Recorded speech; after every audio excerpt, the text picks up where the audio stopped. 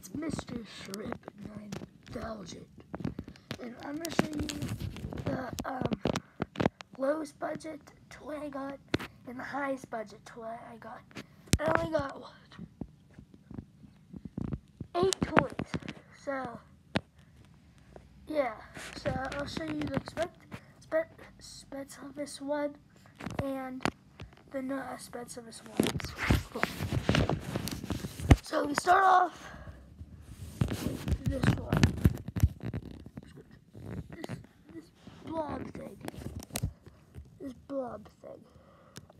It shoots out sli slime. It's cool enough, but it was it was a it was a, a dollar. So yeah.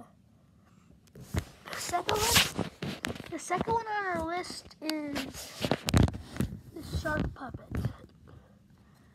This shark puppet right here. It was two dollars. This shark puppet right here is two dollars. The second thing is this Fortnite character. I also got him with a Skull Trooper. The Skull Trooper was ten. He was five. He was five dollars. This is the sec. This is. This was worth ten dollars. It is huge. Yeah. The second expensive. Then when we got He Man. He was going for like twenty dollars. We got Skeletor, and he was um he was four thirty. And then then my little black widow it turns on and moves all around like this. Yeah, it moves around.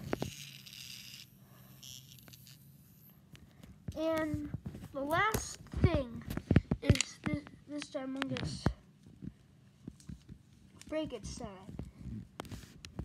It's from um, um, Van Helsing. And the head lights up, the chest thing lights up, even his head comes off. His head comes off and there's like a there's a brain in there. So this is gonna be the end of the video.